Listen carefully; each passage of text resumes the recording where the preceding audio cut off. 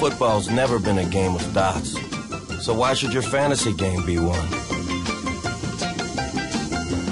Goodbye, dots.